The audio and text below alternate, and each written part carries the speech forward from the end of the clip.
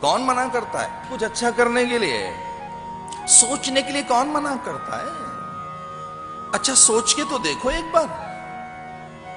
और मेरा तो एक निवेदन है आपसे, एक दिन ऐसा सोचो कि जीवन में कभी इतना ऊँचा, महान, उदात्त, पवित्र और श्रेष्ठ आपने न सोचा हो।